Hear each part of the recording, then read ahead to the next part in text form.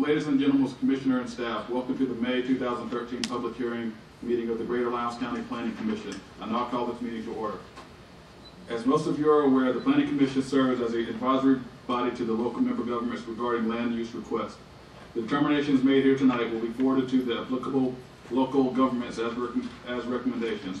We are a recommending body only. Final determinations regarding tonight's request will be made by the appropriate local governments at their respective meetings. Even if the planning commission recommends denial or tabling of an item, it will still go to the local government for final decision. All interested persons should attend the local government public hearing regarding these requests.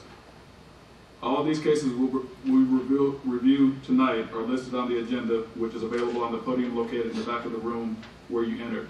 If you do not pick up a copy when you entered, you may do so now.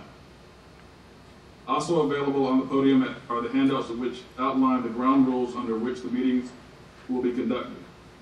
The handouts also include standards for conducting public hearing.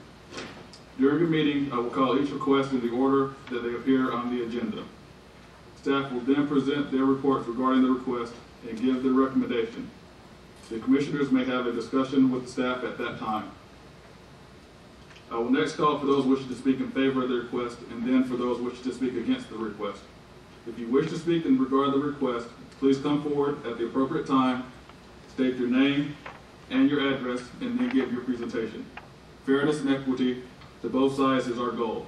State law requires that, that we allow 10 minutes to each side for, of an issue. In the interest of time, we ask that you keep your comments brief so that all who wish to speak may have time to be heard.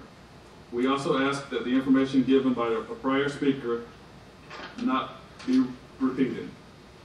If you choose to speak regarding the application, please direct all comments to the Planning Commission Board only. Do not direct comments to the staff, to applicants, or to those in the audience. Do not turn towards the audience or, or solicit debate from others. Please keep all comments proper, polite, and to the point.